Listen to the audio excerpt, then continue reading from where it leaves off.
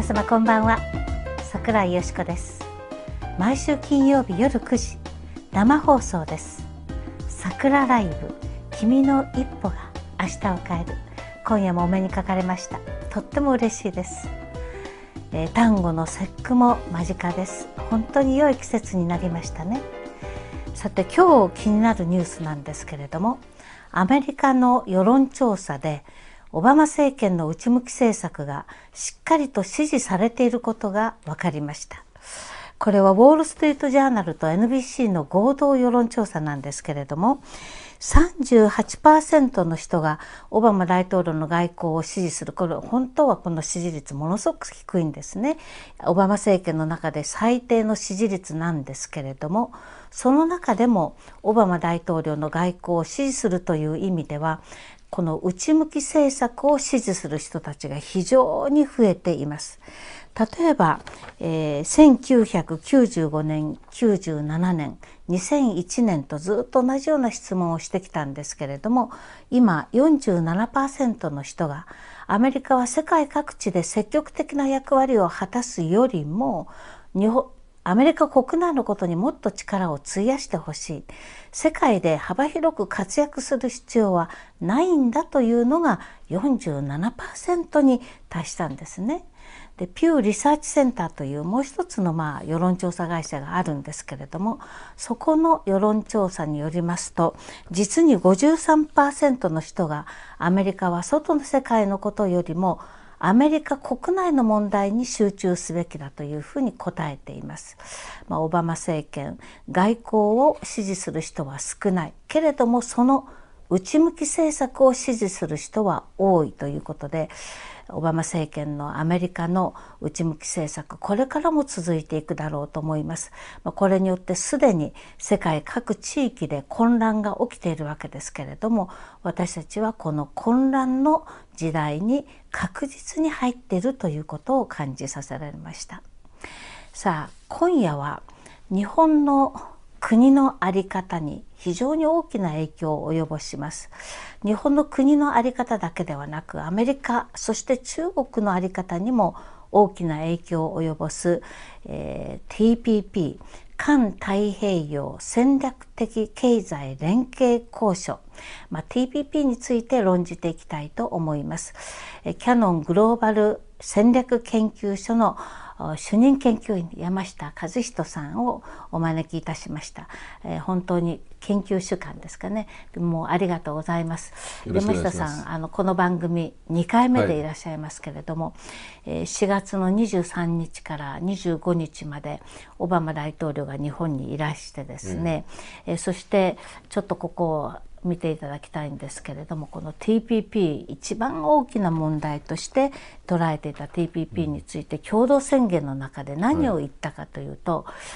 TPP を達成するために大胆な措置が必要ですよと言いました。これは今回の首脳会談で2国間の重要な課題に前進する道筋を特定しましたと、まあ、非常に回りくどい言い方で、えー、それでもまだやるべき作業がたくさんあるんですよ、うん、ということでなされこれができたわけですがこの TPP 一番大事なテーマについて実は日本の新聞両極端の報道をしたわけですね、えー、読売新聞が非常に前向きにほぼ合意だということ、はいえ。ー、日経朝日毎日産経も含めていやその合意は達成できなかったんだというんですが実はこれ今日の夕刊なんですけどもね。まだその意見の対立ものの見方が分かれている。これ今日の夕刊読売新聞ですけどもこのフロマンさんというこの方ですねアメリカの通商代表のフロマンさんがアメリカに議会にですね一線を越える非常に大きな合意を成し遂げたんだと。でここにはですね首相がですね大きな前進ががありましたよということを、まあ、あの安倍総理もあの今おっしゃっている、はい、でそれに対して、えー、こちらがですねこれが日経新聞であります。日経新聞もですね、えー、この端っこの方の記事ですけどもやっぱりこれは豚肉の関税を今1キログラムあたりまあ安い方でですね482円のものを50円までアメリカが要求してきている。うん日本がこれにその抵抗したというようなことで、まあ、具体的な数字とか進捗の具合がかなりいろいろ報道され始めたんですが、山下さんこの全体を見て一体この日米首脳会談日米閣僚会談、えー、甘利さんとフロマンさん41時間も会談しましたが、うん、一体何が問題でどこまで進展したのかしなかったのかどういうふうに私たち見ていてよくわからないんですが、どうなんですか、あの私もですね見ててあんまりよくわからない。あの実は金曜日でしたか？あの、はい、夕刊でですねまたそのあの朝日とか日経とかですね、はい、毎日とかそ、まあ、産経新聞とかまあ、まだその合意できてないんだというふうな報道だったんですけれども、ええ、読売だけはですね、え、あの合意したんだと。言って私これバチ誤植じゃないかと思ったくらいのですね。誤植と思った、なるほど、あのそれだけその一紙だけがですねその突出してその合意と書いたということですね、でまあよくわからないんですけれどもただあの全体でですね、まあ、いろんなその各種報道してるんですけれども、はい、内容的にはですね、それほどその離れていることはないんだと思うんですよね。うん、というのはそのあの日本がその、ま、一番守りたかったその米ですね、はい、で米については関税を維持してあげますよと、はい、それから小麦についても関税維持だと、はい、それから砂糖についても関税維持だと、はい、5項目と言われたものの中の3つまでは、えー、3つですね。3つまではその、まあ、ある意味その OK だとい。うことですね、はい、特にその米について多分一番その政権としてはですね、えー、そう心配してたんだと思うんですけれども、はい、まあ、米についてはそのあ小麦についてもですねその関税を維持すると。えーでその代わりアメリカにとっても得だったわけです、ね、そういうことですね。あの実はその米についてはですね、私はまあ前からもう2年前からですね、えー、あの民主党の政権政権の時にからですね、その、えー、あの多分合意するとすると、えー、そのまあ関税撤廃というのは原則なんですけれども、はい、あの米についてだけはですね、うん、えー、低い関税の関税割当という枠があるんですね、はい、今ミニマムアクセスと言われてるんですけれども、はい、えー、この枠とは別にですね、うん、TPP 枠というのを作ってですね、えー、えー、それをその設定することによって、うん、アメリカからの、えー、米を一定量輸入すると。言論テレビからのお知らせです。言論テレビでは有料会員を募集中です会員になっていただきますと、桜ライブ、君の一歩が明日を変えるの収録動画や、桜井キャスターの講演動画をいつでもご覧いただけます。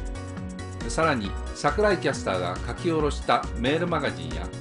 これまでに週刊誌などに発表したコラムもお読みいただけます。コンテンツをご覧いただくためには、正会員登録をしていただきます。会費は4月1日から消費税率が変更されますので月会費が972円年会費が1万800円に変わります。詳しくは言論テレビのホームページでお確かめください。今年から新しく桜会員を設けました。年会費一口10万円です。桜会員の皆様には正会員のサービスに加えて桜井キャスターのサイン入り新刊本をお送りしたりイベントへのご招待などさまざまな特典をご用意させていただきました。言論テレビは皆様にご負担いただいた会費で事実に基づく情報を発信し正しいと信ずる論陣を張るインターネット放送局を運営しています。多くの方々のご入会をお待ちしています。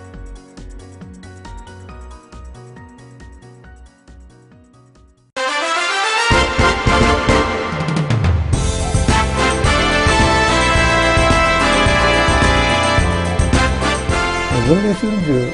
秋のね役目は、うん、朝日新聞と NHK と岩波書店をウォッチすることだと、うん、これが文藝春秋の大きな役目だとこう言ってる。名編集長花田和義が登場します。タイトルは花田編集長の右向け右。ウィル場外論戦です。5月23日金曜日夜10時からの配信開始です朝日新聞は赤旗とね、本当昔ね朝日新聞はね、あの日本のプラウダカっていうねありましたね。やったことがあります文藝春秋で、今はねもう赤旗と同じ、でも朝日は公正中立な、客観的中立性を保ってどこ行ってんだけど、それ何にもないの、客観性も中立性も、対談ゲストは月刊ウィルの執筆陣をはじめ豪華なゲストが登場します。第1回ゲストはなんと桜井よし子さんです金曜日の夜は桜井よしこの「君の一歩が明日を変える」そして花田編集長の「右向け右」ダブルコンテンツでどうぞお楽しみください。